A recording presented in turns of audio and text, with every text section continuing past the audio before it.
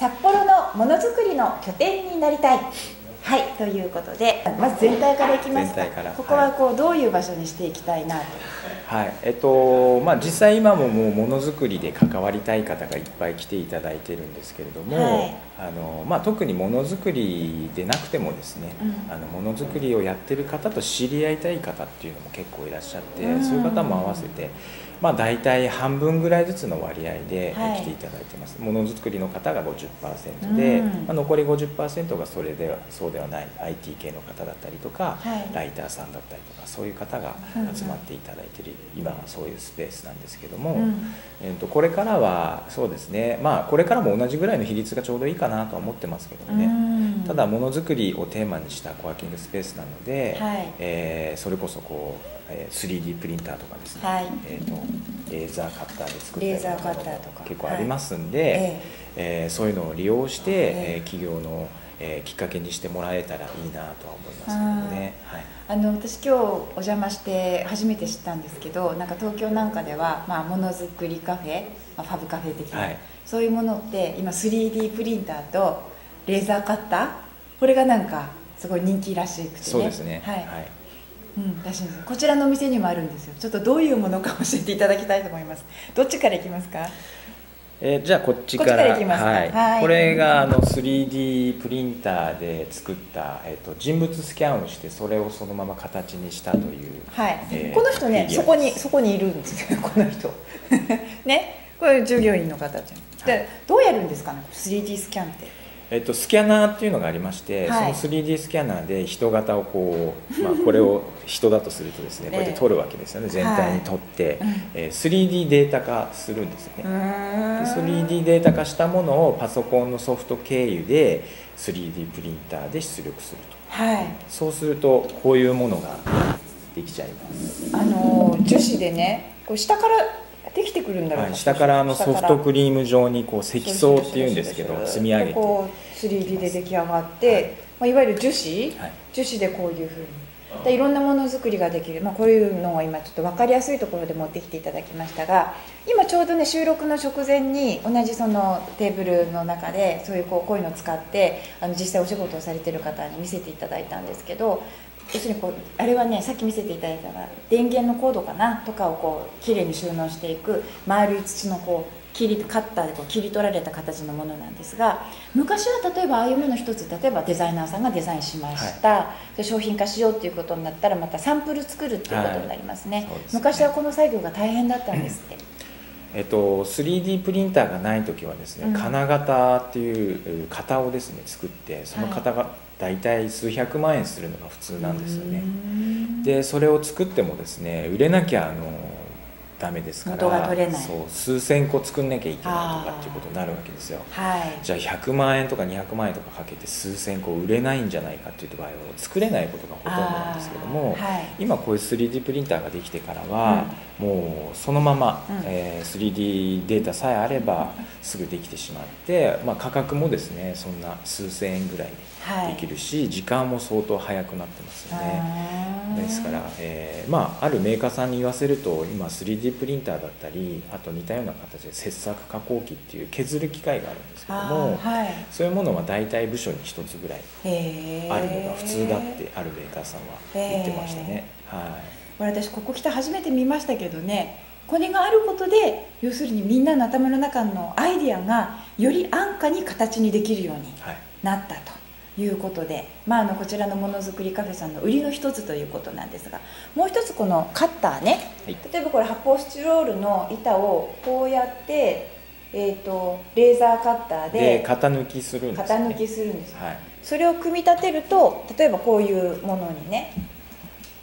子供の頃科学と学習の付録で、ね、あありましたよね。こういうの、ありましたよねこういうのも簡単にできちゃう。はいできちゃいます。データだけあれば、うん、えーと、あとはもうすぐ形にできてしまう。カットできてしまうので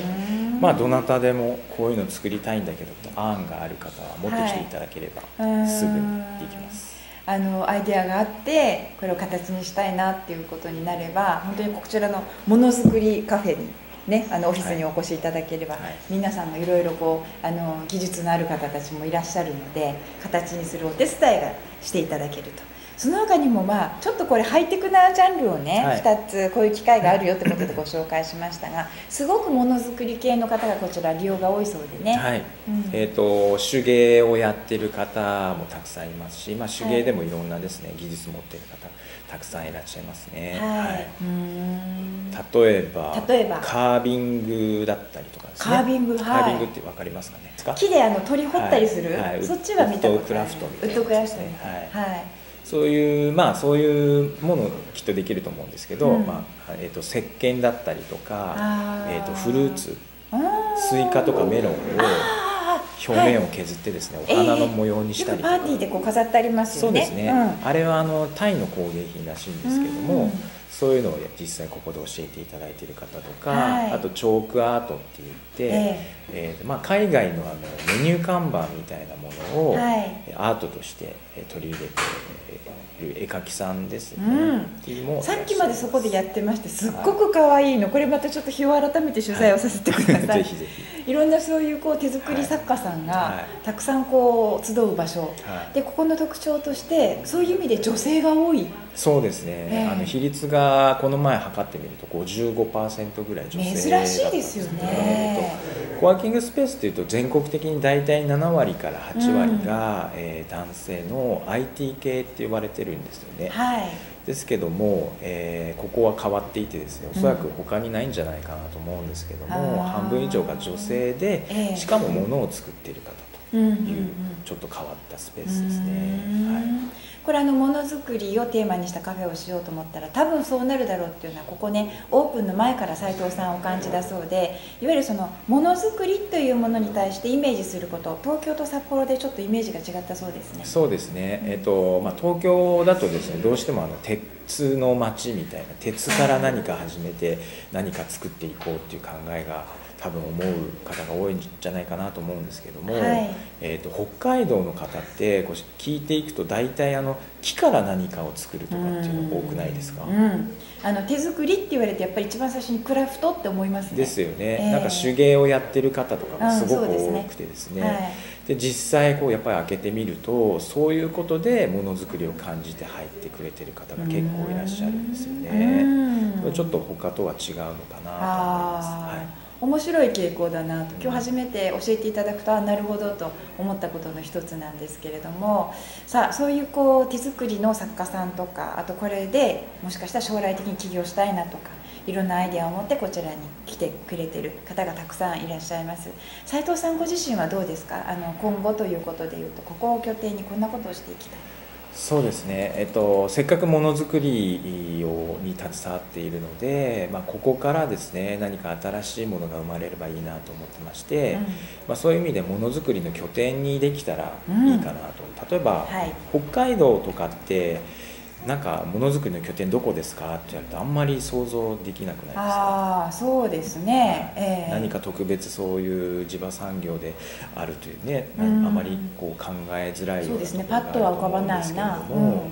まあ、そういう中ででもものづくりされている方いっぱいいらっしゃると思うんですよね、はいうん、そういう方が、まあ、こういう皆さんが集まる場所に来ていただいて、うん、まあ、例えばアイデアを募ったりとかですね。そういうことから、まあ、実際にこう自分たちが作りたいものをこう考えていただいて、はい、その先それが本当にビジネスになるような、はい、えー例えば、えー、クラウドファンディングっていうような、うん、そのお金を新しく集める方法がありますけれども、はい、そういうものをですね活用して、えー、北海道札幌から何か新しいものづくりを提案していけたらいいなと思ってまして、そういう拠点になりたいと思っています。新しい札幌からムーブメントがね、はい、またどんどんと、えー、こちらシェアさんから起きてくるといいな。そうですね。アイディアも技術もなんかそういうこう楽しみ方も全部みんなでシェアしていくそういうことですよね、えー、はい、うん、イメージでしょうか